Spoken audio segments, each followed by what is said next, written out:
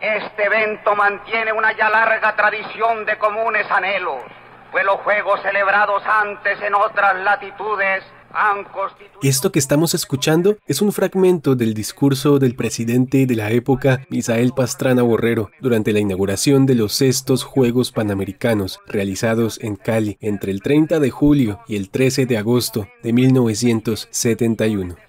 Pero ante todo, con la certeza de que en este estadio se ha convocado... Aquel certamen que partió en dos la historia de la ciudad tuvo su origen en 1953, cuando al entusiasta dirigente Alberto Galindo Herrera se le ocurrió que la capital del Valle podría aspirar a albergar el evento deportivo más importante del continente. Y aunque en ese momento la idea no pelechó, sí serviría para que más adelante, en 1966, se volviera a presentar la candidatura, ya con más. Contra todo pronóstico, el 22 de julio de 1967 en Canadá, se anunció de manera oficial a Cali como sede de los sextos Juegos Panamericanos, aunque Galindo Herrera no pudo ver nunca su sueño materializado, ya que murió seis meses antes de este anuncio. Como presidente de Colombia, no solo cumplo un deber, sino que experimento positivo orgullo al declarar inaugurados estos estos Juegos Panamericanos.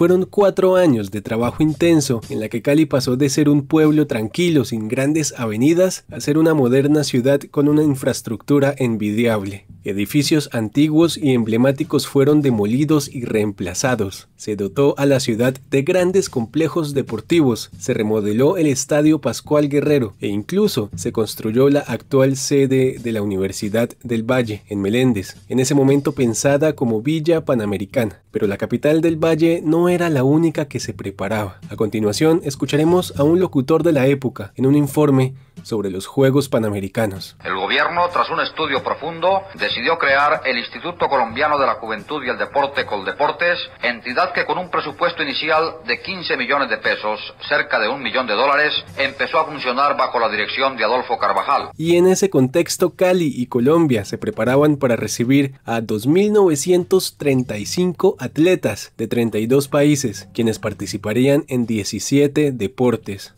Bueno, mi nombre es Libardo Másmela. El día de la inauguración estuve ahí en el estadio Pascual Guerrero porque yo hice parte de los jueces y cronometristas de aquí del Valle. Don Libardo trabajó como mensajero en la organización de los Juegos, por lo que fue testigo directo del cambio drástico que tuvo la ciudad en esos tres años previos. Además, con 21 años estuvo en el estadio el día de la inauguración, gracias a que quedó seleccionado en la delegación de jueces y cronometristas del Valle. También en la pista del estadio ese día se encontraba doña Socorro Franco, quien hizo parte de las 12.000 mujeres jóvenes que desfilaron. Yo tenía 14 años en ese tiempo y estaba en el colegio, entonces todo el colegio masivamente lo llevaban obligadito a, a participar. A pesar de que han transcurrido casi 50 años del magno evento, estos siguen estando en la memoria colectiva de la ciudad. Jóvenes de la época como Libardo Másmela y Socorro Franco aún recuerdan como si fuera ayer este acontecimiento que partió en dos la historia de Cali y del deporte colombiano. Bienvenidos a un episodio más de Calibaneando Podcast. Mi nombre es Víctor Hugo León y hoy vamos a recordar los sextos Juegos Panamericanos Cali 1971. Como ya se mencionó, todo comenzó por allá por 1953, cuando a Alberto Galindo Herrera se le ocurrió que Cali podría organizar un evento deportivo internacional. Para ese año, Libardo Másmela tenía cuatro años y todavía vivía en su natal Chaparral, Tolima, mientras Socorro Franco aún no nacía. Sí, yo llegué, creo que eso fue días antes de la explosión aquí en Cali. Bueno, la, verdad es que eh, en el caso mío llegué aquí a, Cali porque de mi familia soy el menor, entonces mis hermanos ya se habían venido para acá, para Cali, en busca de nuevos horizontes, a trabajar acá. Entonces, claro, ellos estando aquí, esa fue una de las razones por las que vine a dar acá. La ciudad apenas llegaba a los 300.000 habitantes por ese entonces, aunque ya decenas de familias como las de Libardo comenzaban a llegar en busca de oportunidades laborales o huyendo de la violencia bipartidista que desangraba las zonas rurales. En menos de 10 años, a mediados de los años 60, la población de Cali se había triplicado y ya habían más de 600.000 habitantes. En esa Cali nació y creció Socorro Franco. Pues cuando estaba niña eh, recuerdo mucho que Cali se terminaba casi casi en la 39, donde está hoy el edificio empresarial. Y ahí hasta allí llegaba como las construcciones de lo que eran casitas y todo, y ya de ahí para allá seguía la Plaza de Toros. Para ir a la Plaza de Toros ya no había nada construido, era todo potreros. A esa ciudad pequeña que llegaba solo hasta la Plaza de Toros se le anunció por radio el 22 de julio de 1967 que era la nueva sede de los Juegos Panamericanos.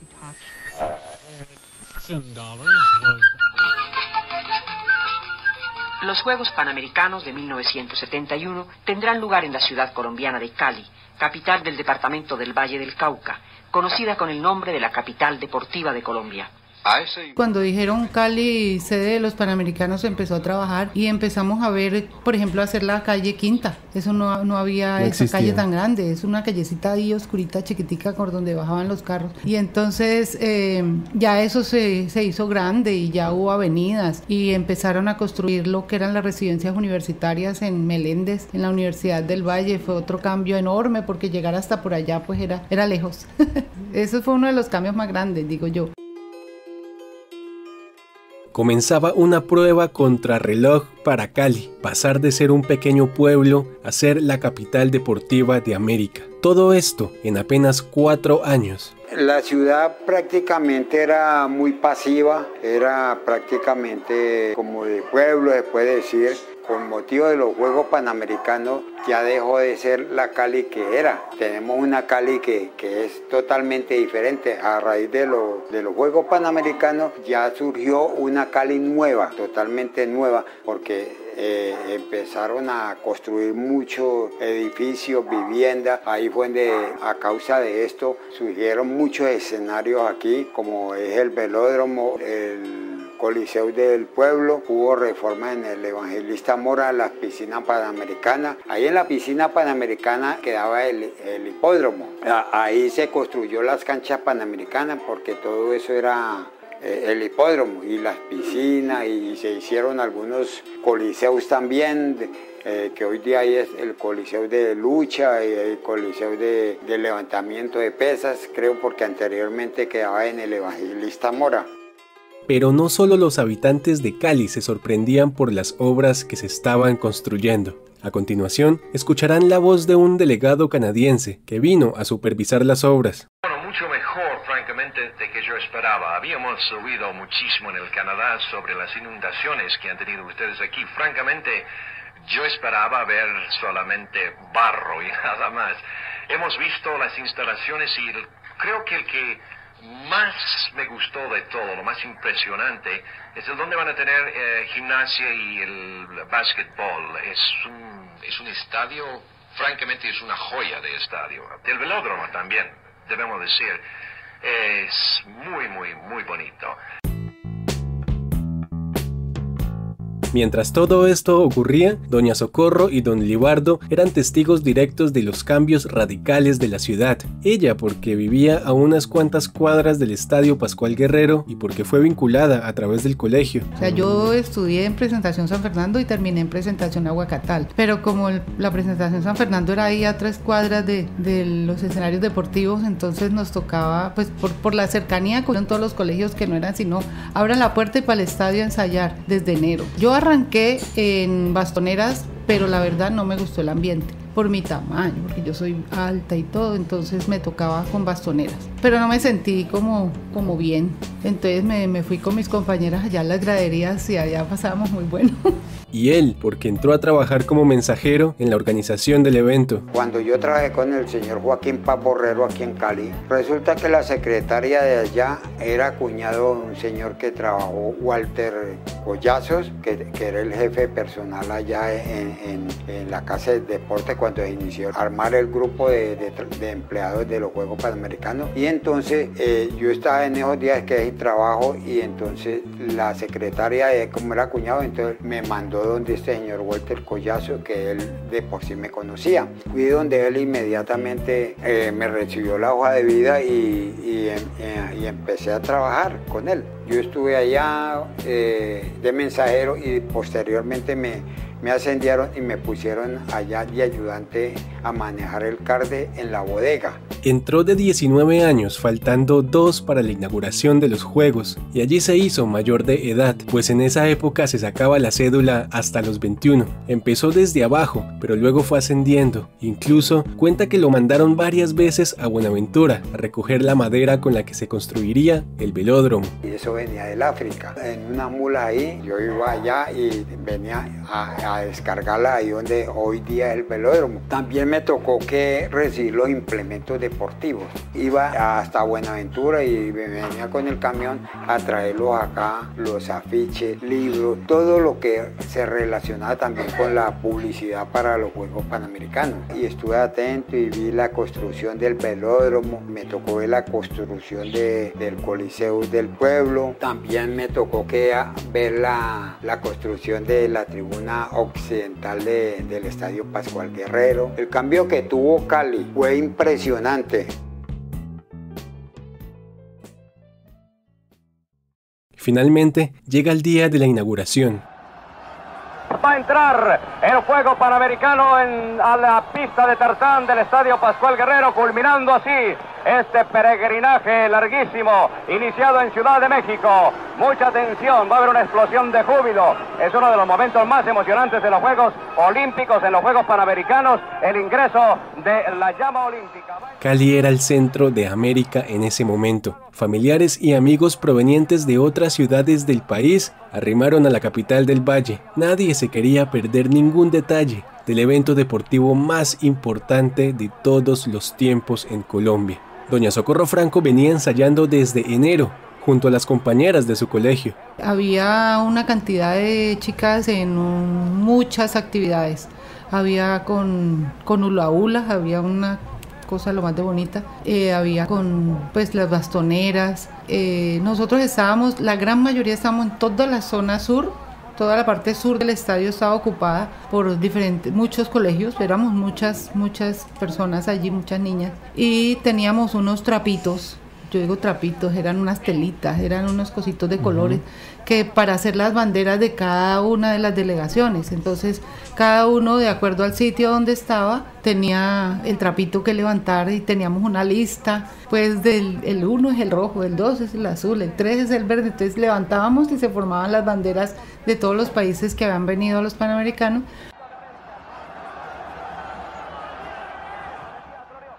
la gente empezó a llegar masivamente al nuevo Parque Panamericano y al remodelado Estadio Olímpico Pascual Guerrero. Nadie se quería perder ningún detalle.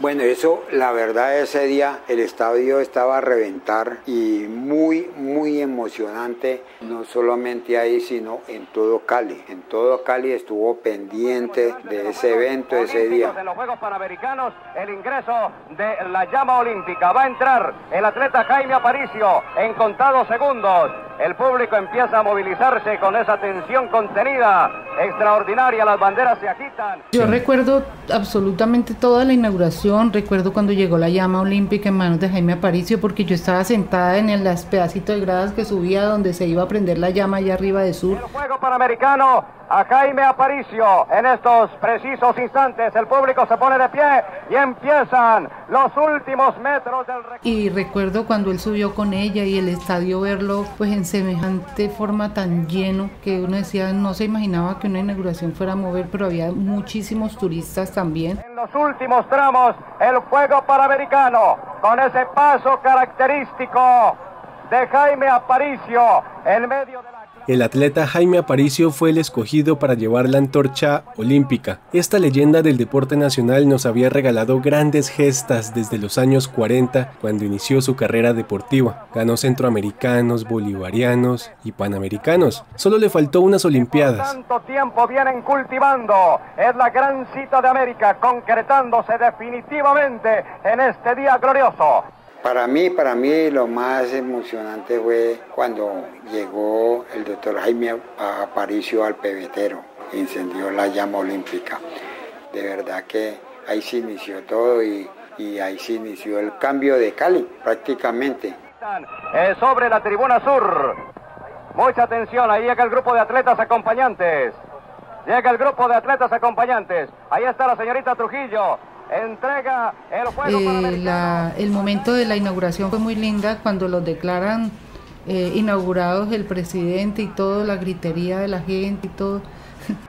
Como presidente de Colombia, no solo cumplo un deber, sino que experimento positivo orgullo al declarar inaugurados estos estos Juegos Panamericanos.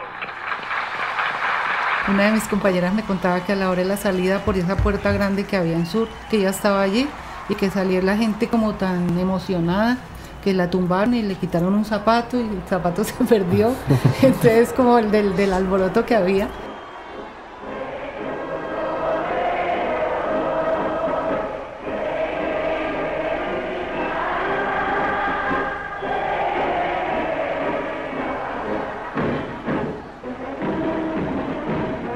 Pero la, la, verdad la inauguración fue muy linda, el, el momento fue muy emotivo, porque además hay otra cosa muy importante para ese año y creo que eso está en, en, en, en registros, para el año 70 o 71 llegaron los televisores a color.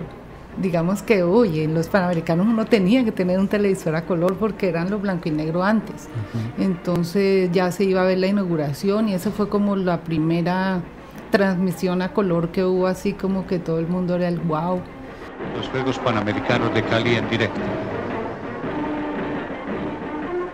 Pues eh, yo me acuerdo mucho eso, me acuerdo de su tablero electrónico en el estadio que fue también todo el mundo miraba y aplaudía cuando salían letras y cosas allá. sí, porque allá salían un mundo de cosas, los nombres de las delegaciones y todo. Y cuando salían y, y, salía que Argentina y la gente se paraba y aplaudía y gritaba y todo. Fue muy emotivo, es muy bonito, o sea, los recuerdos que yo tengo fueron fue muy bonitos porque pues y todo el mundo participando supremamente bien de eso.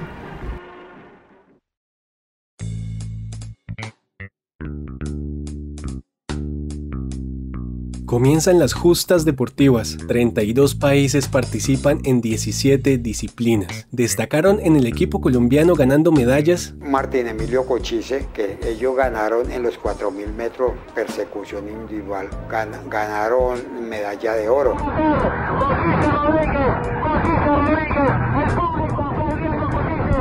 Fue Luis H. Díaz, eh, creo que era Jaime Galeano y bueno, hay otro personaje, pero no, no recuerdo el nombre de él, de, de en ¿no? Eh, el levantamiento de pesas, pues me acuerdo que fue Juan Romero. Eh, natación, creo que fue Olga Lucía Angulo, que ganó medalla de, de, bronce o algo así, que estuvo destacada en esa época. Eh, en atletismo, pues que era destacado era Pedro Grajales. en en la pista atlética y Álvaro Mejía eh, en maratón.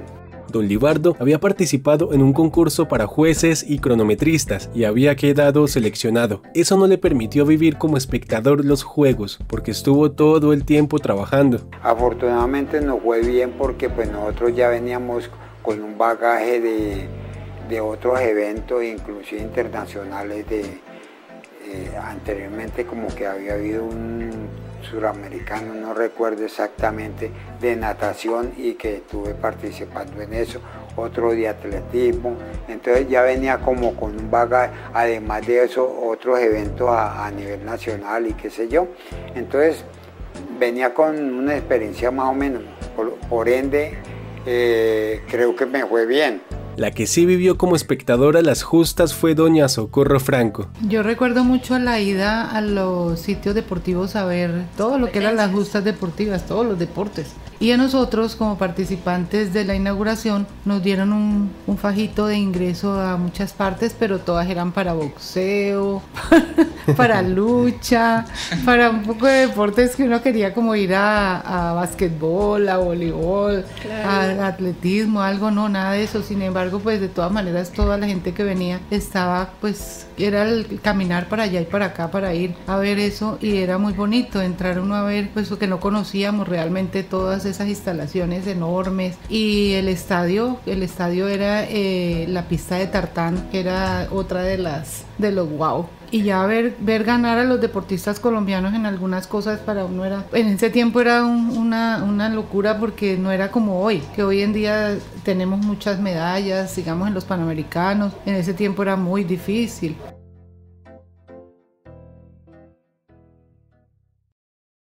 Por ese entonces, la Guerra Fría estaba en todo su furor. Los deportistas cubanos y norteamericanos eran los más asediados por la prensa y el público en general. Ya la isla llevaba más de una década con Fidel Castro en el poder y muchos buscaban la forma de huir de la isla. Cerca de tres deportistas cubanos salieron a escondidas hacia Panamá y pidieron asilo en ese país. La noticia fue portada en todos los medios internacionales. Varios días después, un masajista cubano perteneciente a esa delegación se lanzó desde uno de los pisos de la Villa Panamericana. Recuerdo que, que ellos no tenían permiso de nada, que también hubo eh, algunos deportistas que aprovecharon el momento e hicieron su cosa para volarse, digamos para salir de Cuba y se perdieron por acá y esa era responsabilidad pues de la organización y eso fue un boom, un alboroto. Recuerdo que hubo uno que se tiró de no sé qué piso,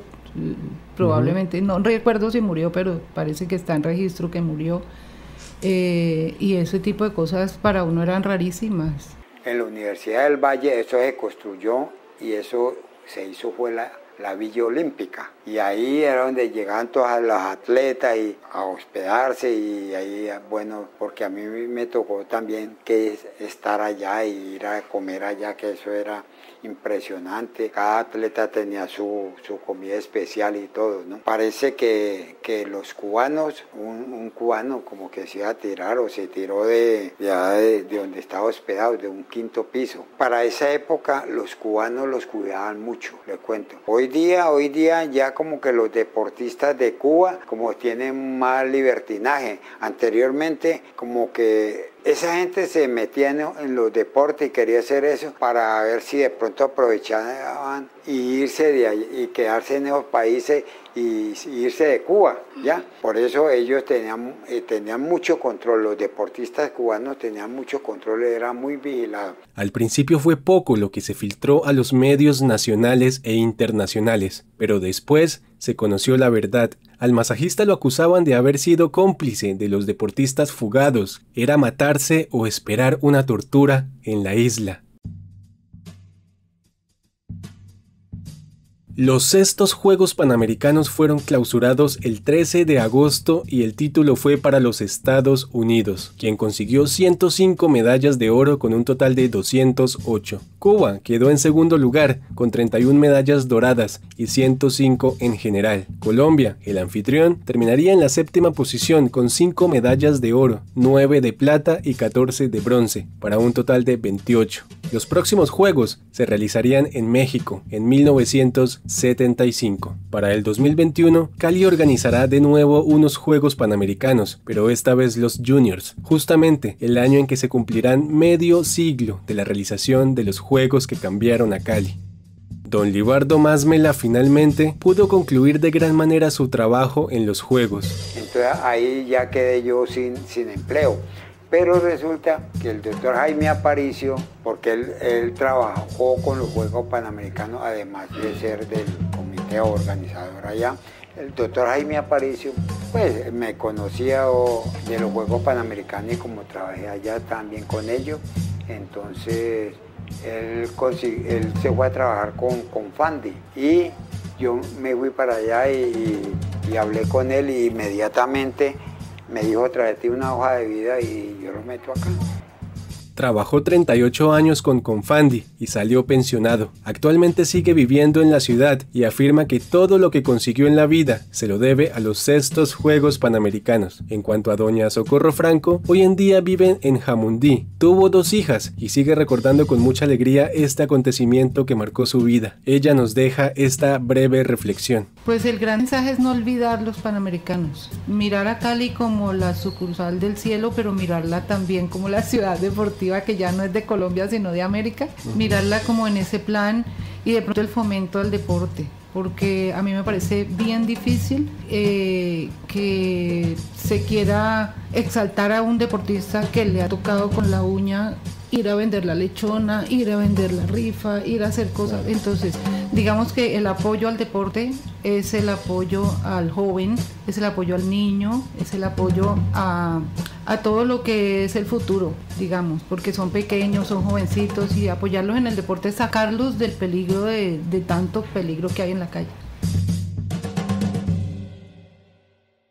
Esta historia fue escrita y producida por mí. Los audios de archivo de los Juegos Panamericanos fueron tomados de señal memoria. Recuerden que Calibaneando Podcast hace parte de Jambrina Cultural, que pueden encontrar en redes como arroba Jambrina FM. Un agradecimiento especial a Ángela Gómez y a Diego Llanos. Mi nombre es Víctor Hugo León. Nos escuchamos pronto.